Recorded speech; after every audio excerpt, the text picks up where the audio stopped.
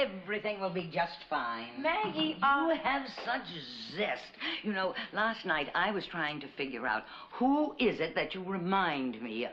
Oh. Uh, now, now don't take this wrong, Sabrina, but you remind me of myself. Uh, when I was much, much younger, of course. Well, that's very flattering. Oh, no, it isn't. All three of you, you just seem to be so alive and have so much vitality. You must enjoy your work. Not always. Oh, Like now.